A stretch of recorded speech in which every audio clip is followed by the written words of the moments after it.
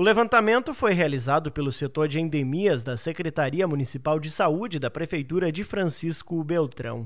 Os focos foram encontrados principalmente em materiais recicláveis, como tanques e baldes com água.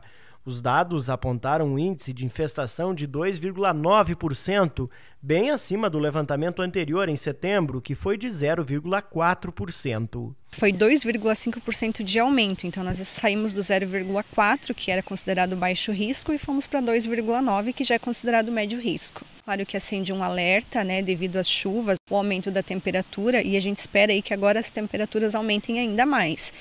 Durante o levantamento foram vistoriados 1.500 domicílios aqui em Francisco Beltrão. Em três bairros, o índice ficou bem acima da média. Em três deles, no Cantelmo, na Cango e no Pinheirinho, o índice passou dos 10%. Em alguns bairros aí que a gente tem o índice acima de 10%, então as ações serão intensificadas, mas a gente precisa do apoio da população. Segundo os dados epidemiológicos da Secretaria Municipal de Saúde, Francisco Beltrão soma três casos confirmados de dengue neste ano epidemiológico que iniciou no final de julho. Para o combate, o apoio da comunidade é indispensável. Não somente o poder público fazer sua, suas atividades, né? A gente precisa da colaboração da população, principalmente agora com chuvas intensas, né?